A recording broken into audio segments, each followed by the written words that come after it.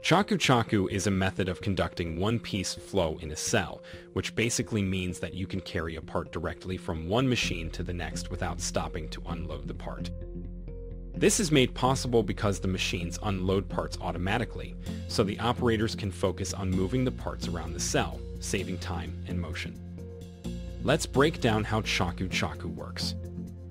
The first machine in the processing sequence automatically ejects a part as soon as its cycle is completed. The operator then takes the part to the next machine in the sequence, which has just finished cycling and ejected its part.